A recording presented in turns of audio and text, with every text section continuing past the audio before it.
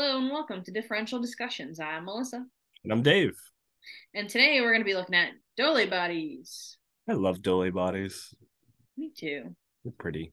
So we had a video on toxic granulation and we couldn't find any Dohle bodies on that toxic granulation slide. Um, but I found this slide that does have Dohle bodies. So here we are. Supplemental. Yeah. so a lot of times you find them together, but not always. So the trifecta would be finding Dohle bodies, toxic granulation, and vacuoles. Yep. You always find them together? No. So this one, actually, there's vacuoles and Dohle bodies here. yep. Yep. yeah, and so Dohle bodies generally kind of come along with uh, um, like a stress reaction, releasing neutrophils uh, early into the circulation. Um, so you'll see it in like sepsis and things like that. You know, but uh, yeah, so we have two neutrophils here. Uh, one has a more prominent Dohle body, I would say. Um, yeah, exactly, right there. Thank you, Melissa.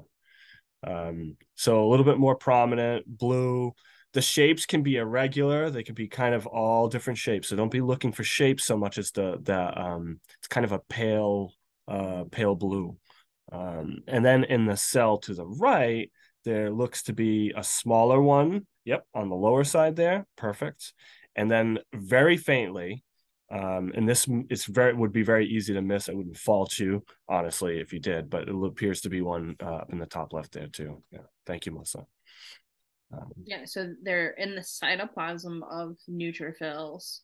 Um, generally, neutrophils, although you could find them in bands, metas, things like that, but usually neutrophils, and they're sometimes along the edge of the the neutrophil, like the edge of the cytoplasm, but sometimes you find it throughout the cytoplasm. So don't just you know have to find it at the edge. It could be wherever, and you know sometimes they're nice round, easy to pick out Dohle bodies, and sometimes they're more like a, a smudge in in the cytoplasm almost. Mm-hmm.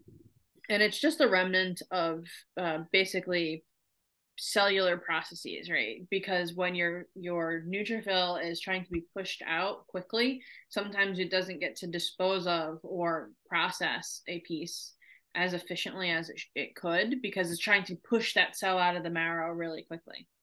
Mm-hmm that's where we get our Dohle bodies from. Yep. So let's look around, find some more. Sure.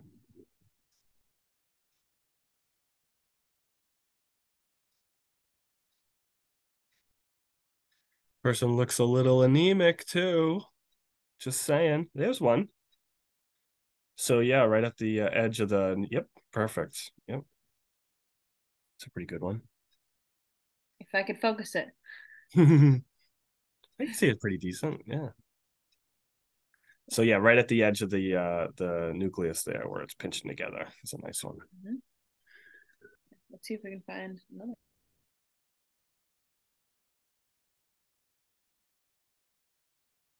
Notice how we just went into like a super thick area too. Mm-hmm. We mm-hmm. went from a good area to a really thick area.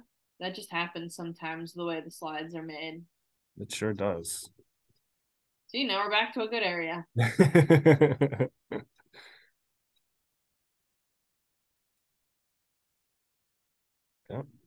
On the right hand side. Yep. Yep.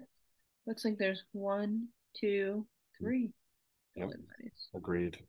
And there may even be one on the inside of the very, very faint down near the you're looking like right here? Yeah, that's a I don't know for sure, but just uh maybe, but obviously one's on the right hand side.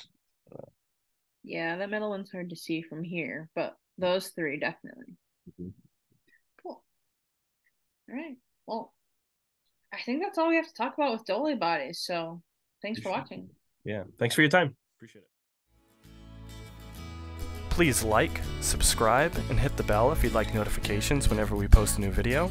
And feel free to reach out to us on social media or via email with comments or suggestions about future content. Thanks.